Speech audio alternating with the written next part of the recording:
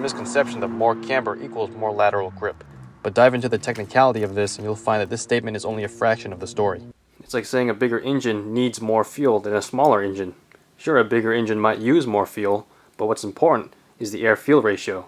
You can have a big engine run on a leaner mixture than a small engine, like this stupid ass rotary. For an ideal amount of grip, you want the tire flat with the road. This means you have the most contact patch available for cornering. A well-designed suspension is meant to camber out as it compresses, which means as the car corners, the wheel gains camber at the same rate it rolls keeping the tire flat. And this all applies during peak cornering. Lowering your car on aftermarket suspension messes this whole geometry up. Most of the time, lowering your car puts your wheel at a very aggressive angle. So you have to bring it back to almost square keep that contact patch flat. That's why adding more camber to a car that's already low doesn't work, because you're just making that angle even worse. The challenge now is just finding that balance. Drive aggressively and watch how your tire wears. If there's too much inside wear, you gotta bring the tire back in. If there's too much outside wear, you need to add some more camber.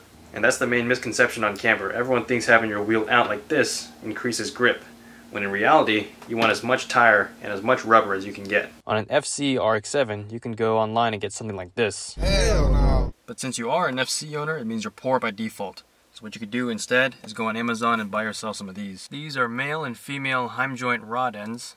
And the nice thing about this is you can screw these in together, in and out, to give yourself some adjustability. The only thing you do have to do is cut about a quarter of an inch off this one and a quarter of an inch off that one just so these sit a little bit closer together. OSHA approved. My link is about two inches center to center, but since your ride height is most likely going to be different from mine, you're going to have to do some trial and error and figure out your own. Installation is also fairly simple. Just jack the car up, unbolt the two bolts holding the trailing arm and the subframe, take your old camber link out, slide your new one in, and tighten everything else back up. You do want to make sure you get some washers, just so there's no space for them to wiggle around. It's just a little bit square, but looks pretty good to me. I do want to add the disclaimer to do this at your own risk. Don't cut too much material off the links. Make sure you use a quality Heim joint that's thick enough and strong enough. And just like that, you've corrected your car's rear camber, saving you from horrible camber wear and giving your car some more lateral grip.